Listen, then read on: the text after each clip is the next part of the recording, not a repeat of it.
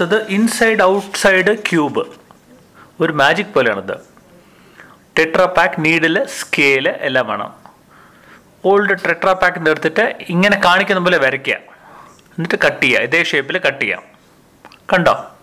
എല്ലാം ഒരു four centimetre വെച്ച് എന്നിട്ട് എല്ലാ ബ്ലൂ ലൈൻസും ഷാർപ്പായിട്ട് ഒരു നൂൽ നീഡിലുകൊണ്ട് കട്ട് ചെയ്യാം ഇത് വളരെ ഫോൾഡ് ചെയ്യാൻ എളുപ്പത്തിന് വേണ്ടിയിട്ടാണ് കേട്ടോ അത് ഫുള്ളായി കട്ട് ചെയ്യരുത്.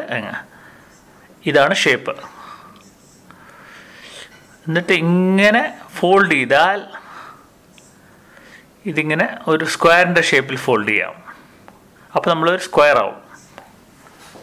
ചെറിയൊരു ഫ്ലാപ്പും ഉണ്ട്. ഗ്ലൂ എടുത്തിട്ട് ആ ഫ്ലാപ്പിലേക്ക് തേക്കുക. കുറച്ച് നേരം കഴിഞ്ഞിട്ട് ഉണങ്ങിയിട്ട് എന്നിട്ട് ഇവിടെ ഇങ്ങനെ സ്റ്റിക്ക് ചെയ്യുക കാണിക്കുന്ന പോലെ.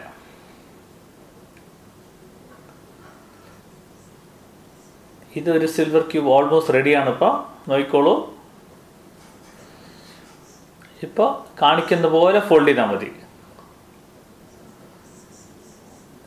ആറ് ഫേസ് ഉള്ള കാരണം ക്ലീൻ ആറ് ഫേസ് വരുന്നുണ്ടല്ലോ എല്ലാം സിൽവർ കളറാണ് കണ്ടോ? ഇനി പുറത്തെടുത്തിട്ട് മറിച്ച് വയ്ക്കുക ഇങ്ങനെ കാണിക്കുന്ന പോലെ.